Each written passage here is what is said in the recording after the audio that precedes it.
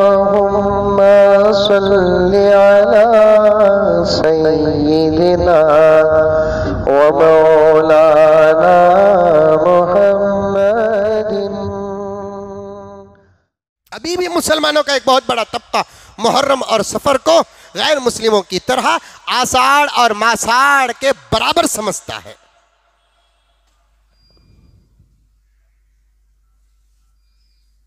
रिश्ते नहीं करते, शादियाँ नहीं करते,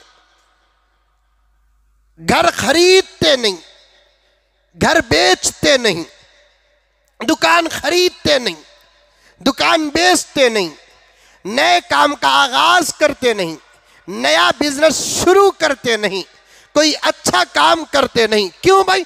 मुहर्रम का महीना है, बड़ा मनहूस है किसने कहा कि मुहर्रम और सफ़र मनहूस है?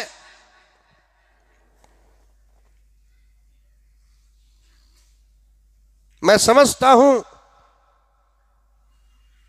जब से हज़रत हुसैन रज़ी अल्लाह तु की शहादत हुई, उनकी शहादत को रखकर दीन पर जो लोगों ने हमला किया, उस वक्त से लेकर ये जमात मुहर्रम को मनहूस का महीना समझती और समझाती आ रही है।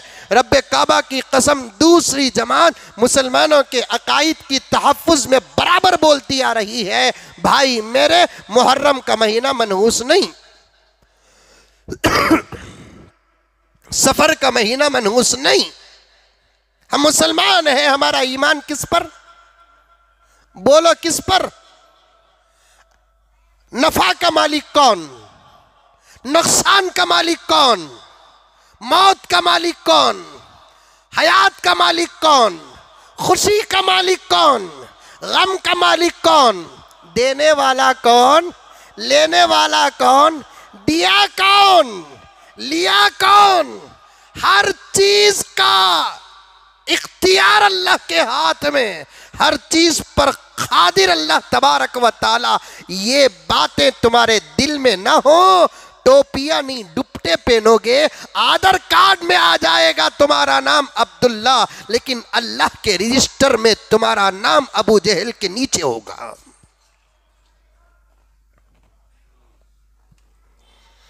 अल्लाह ने नफे और नुकसान को किसी दिन रखा नहीं, साल के 360 या तीन सौ पैंसठ दिन। रब्बे काबा की कसम, सब अच्छे दिन।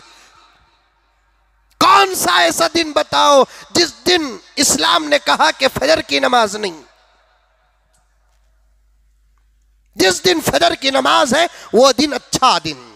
जिस दिन जोहर की नमाज़ है, वो दिन अच्छा दिन। जिस दिन असर की नमाज़ है, वो दिन अच्छा। जिस दिन मगरिब की नमाज़, वो दिन अच्छा। जिस दिन ईशा की नमाज़, वो दिन अच्छा।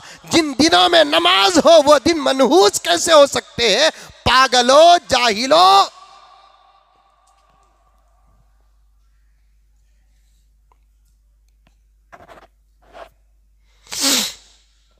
अकीदे अच्छे रखो।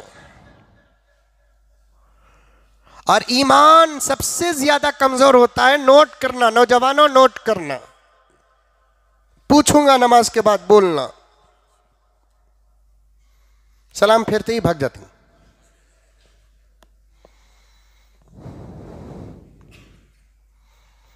और आज तो और भी जल्दी भाग जाएँगे, क्योंकि तो काम ज़मीन सब पूछ डालती बोलकर।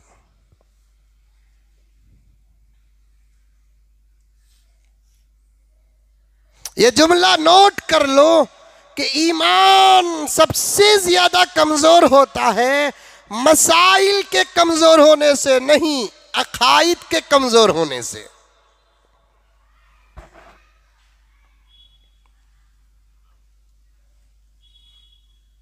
आमाल के कमज़ोर होने से भी ईमान कमज़ोर होता है, उतना नहीं।